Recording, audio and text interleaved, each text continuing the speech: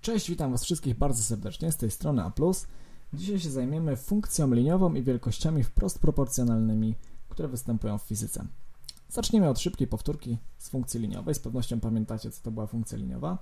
Funkcja liniowa w tej najbardziej standardowej postaci, z jaką się spotykamy, w postaci kierunkowej, to jest y równa się ax plus b. To jest kierunkowa postać funkcji liniowej. Na razie to zero nas nie, nie interesuje, to za chwileczkę. Co to jest y, co to jest a, co to jest b i co to jest x. x jest zmienną niezależną, y zmienną zależną, natomiast a i b to są stałe, które nam określają kształt tej funkcji. To znaczy kształt. Ona, oczywiście wykres tej funkcji zawsze będzie prostą, ale te współczynniki a i b nam określają, jak ta prosta będzie ułożona na układzie współrzędnych.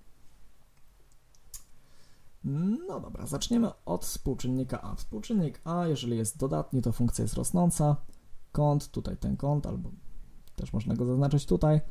Kąt nachylenia tej prostej do osi x będzie kątem ostrym.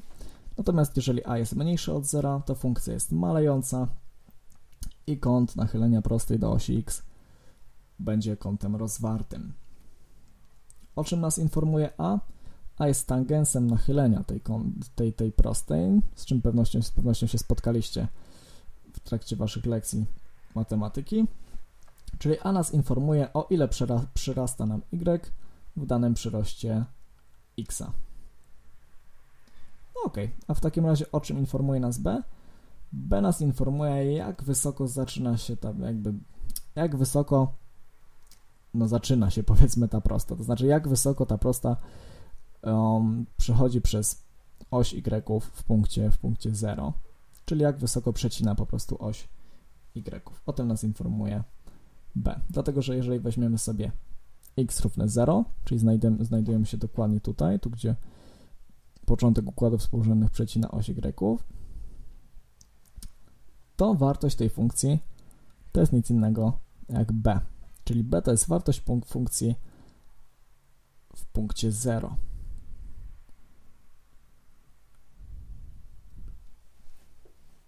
Czyli wysokość, na jakiej prosta przecina oś y.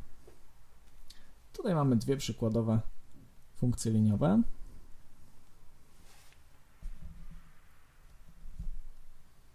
Ok, tu już się zajmiemy bardziej bliższymi fizyce przykładami. Jeszcze tylko jedna rzecz, trzeba pamiętać, że w fizyce wiele, wiele wielkości, na przykład czas, masa czy odległość, przyjmuje zawsze wartości dodatnie, a zatem te funkcje liniowe często będą się sprowadzać tylko do półprostych albo odcinków.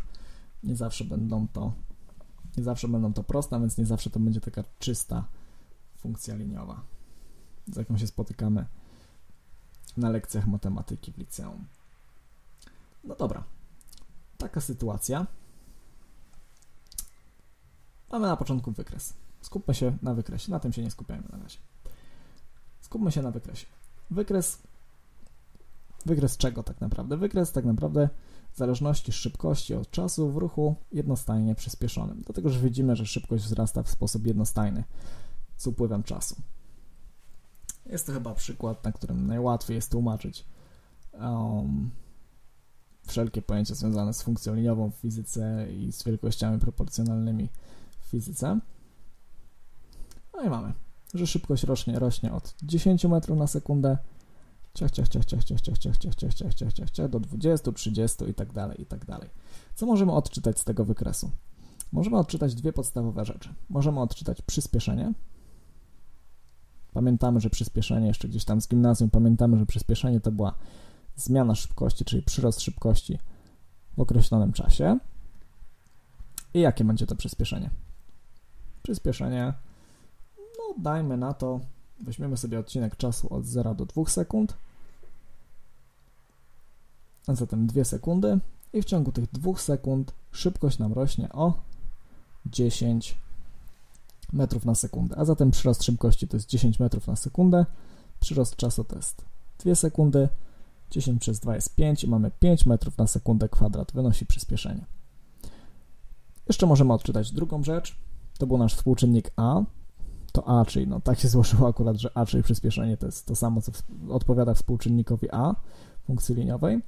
Natomiast możemy jeszcze odczytać współczynnik b, czyli szybkość początkową w tym wypadku. Szybkość początkowa dla chwili 0 wynosi 10 metrów na sekundę. SV0 10 metrów na sekundę. No i na podstawie tego wykresu jesteśmy również w stanie napisać równanie funkcji szybkości od czasu dla tego ciała. Jakie ono będzie postaci? Będzie postaci następującej. Szybkość w zależności od czasu to jest V0, czyli to jest to nasze B. V to jest tak naprawdę Y. To jest B plus AX. Zmienną X jest czas, a A to jest A, czyli przyspieszenie. Dostajemy, że to jest V0 plus A razy T, czyli szybkość początkowa plus przyspieszenie razy czas. Plus dlatego, że jest to funkcja rosnąca, jak widzimy ruch jest jednostajnie przyspieszony. Ok. Kolejna sytuacja. O współczynnikach proporcjonalności jeszcze za chwilę sobie powiemy. Na razie kolejny wykres. I tu mamy sytuację odwrotną. Widzimy, że ta funkcja jest malejąca. Mamy do czynienia z ruchem jednostajnie opóźnionym. Ponownie wyznaczymy sobie przyspieszenie. Znowu delta V przez delta T. W tym wypadku wziąłem sobie 4 sekundy. Całość jakby sytuacji, którą nam przedstawia wykres. I w ciągu tych 4 sekund zmiana szybkości jest równa 20 metrów na sekundę. Od 20 metrów na sekundę do 0 metrów na sekundę. Czyli 20 metrów na sekundę w ciągu 4 sekund. Przyspieszenie wynosi 5 metrów na sekundę kwadrat. A szybkość początkowa w momencie 0 wynosi 20 metrów na sekundę. I dostajemy równanie ruchu. V od t to jest V0, tym razem minus AT. Minus dlatego, że ruch jest jednostajnie opóźniony, czyli to przyspieszenie powoduje nam malenie szybkości, czyli ciało nie przyspiesza, tylko ciało zwalnia. I ponownie widzimy, że to jest nic innego jak funkcja liniowa, to jest y, to jest b, to jest a, a czas to nic innego jak x. Współczynniki proporcjonalności. Takich wielkościach fizycznych często pojawiają się właśnie współczynniki proporcjonalności. Wielkości są wprost proporcjonalne. I mamy na przykład droga to jest v razy t, czyli szybkość razy czas. Współczynnikiem proporcjonalności jest szybkość, czyli przebyta droga w danym czasie zależy wprost proporcjonalnie od tego, jak duża jest szybkość przy ruchu jednostajnym. W następnej sytuacji wiemy, że szybkość to nic innego jak przyspieszenie razy czas. I ponownie szybkość jest wprost proporcjonalnie zależna od tego, jak duże jest przyspieszenie. Dalej mamy pęd. Tu współczynnikiem proporcjonalności może być masa. Podobnie tutaj. Pamiętamy, że A to jest F przez M. Przyspieszenie to jest siła przez masę. Tu mamy Współczynnikiem proporcjonalności jest 1 przez masę. Współczynnikiem proporcjonalności może być też przykład gęstość czy objętość. A więc mogą to być wielkości, które charakteryzują ruch, charakteryzują ciało lub właściwości substancji, z których jest wykonane ciało, przykład gęstość. Takie współczynniki pojawiają się na co dzień w fizyce. Ok, to tyle na dzisiaj. Ja dziękuję Wam serdecznie za uwagę. Zapraszam także do subskrypcji naszego kanału na YouTube, lajkowania naszej strony na Facebooku i przede wszystkim zapraszam na kolejne lekcje. Do usłyszenia w następnych lekcjach.